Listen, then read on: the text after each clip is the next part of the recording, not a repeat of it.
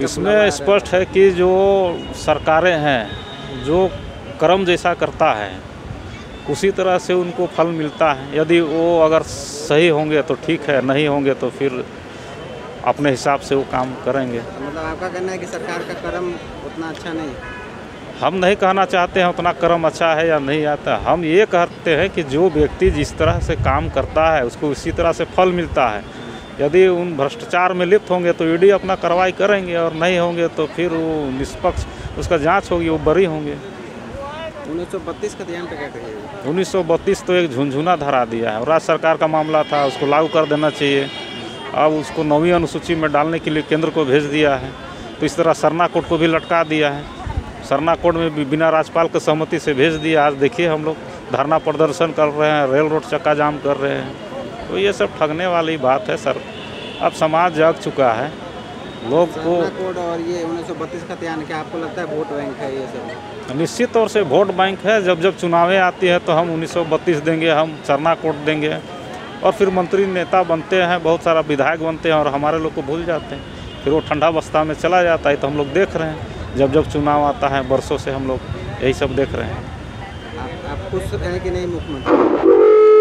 से आदिवासी का मुख्यमंत्री बना है और आदिवासी के साथ भी भेदभाव किया जाता है। यहाँ जो भी आदिवासी है, लोकल आदिवासी, उनके साथ उसका रवैया ठीक नहीं है। ज़्यादातर संथाल में ध्यान देते हैं, या उराव मुंडा हो, खड़िया जो भी है, वो अपेक्षित है।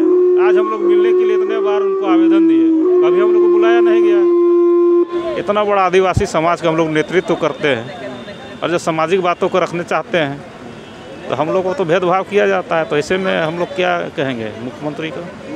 आज जो है, कभी आंदोलन तो रहे नहीं। आंदोलन तो उनके पिताजी किए थे।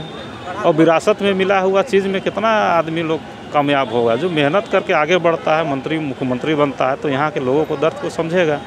वो तो चांदी के चम्मच को लेकर पैदा हुए हैं। जैसे हुए बिना आंदोलन में मुख्यमंत्री बन गया दो बार, तीन बार। जो संघर्ष की राजनीति करते हैं, वो लोग जानते हैं यहाँ की दुख दर्द। हाँ झुंझुना है। आप देख रहे हैं, लोग देख रहे हैं और देख ही रहे हैं। जब लग जाएगा तब मानेंगे, स्वागत करेंगे, आ गया। आप तो घोषणा करते हैं, उसके बाद लोगों को उलझा देते हैं।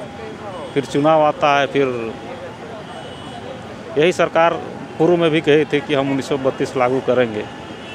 तब जाके है स्थानीय बनाएँगे। तब जाके सरकार बनी थी। सरकार बनते ही भूल गई फिर वही चीज़ उन्नीस सौ बत्तीस लागू भी नहीं हो होगा। हाँ। फिर अभी बोली कि हो जाएगा लागू कर दी। तो ये सब जो है राजनीतिक का जो राजनीतिक है लोग चाहते हैं कि हम हमेशा पद पे बने रहें और जो आ, मलाईदार चीज़ें हैं उसका मज़ा लेते रहें। आने वाला समय में बताएगा वो तो जनता निर्णय करेगी। जनता निर्णय करे कि जनता जिसको चुनेगी उसको मानना पड़ेगा।